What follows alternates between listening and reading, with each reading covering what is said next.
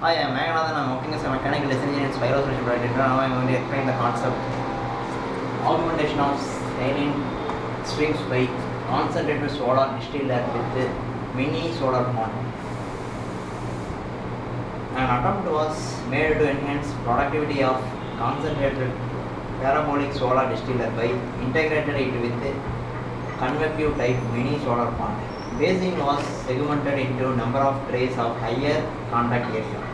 Experiments, experiments conducted to improve productivity by increasing various factors like heat storage capacity, exposure area, maintaining road depth. In a mini solar pond, experiments were conducted for different salinity. It was found that the optimum, optimum value of salinity in, in the mini solar pond is 80 gallons per kg of water. Coming to the layout of this project, the system the system has a solar pond, uh, which one consists of number of trays, parabolic concentrator, and uh, inlet valve and exa- uh, exhaust valve, and uh, freshwater storage tank and uh, seawater storage tank. Actually, the seawater storage tank will be passed through solar pond freshwater storage tank. Here, the in the solar pond, the, uh, some effect will be taken place.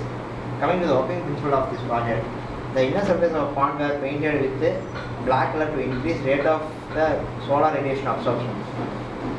To preheat the saline water in the mini solar pond, a spiraled copper tube was used. Heat can be extracted from solar pond through two modes, namely batch mode and a continuous mode. In this water, in this work, water is not sent through the mini solar pond continuously. For every half an hour, the hot water is taken from the mini solar pond and sent to solar strip. The same quantity of water will supply to the solar pond. So, in this work, batch mode of heat extraction was used. The solar pond was fabricated as pronated conical shape.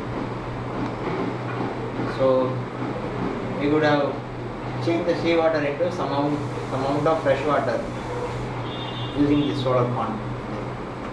This is the project. Thank you.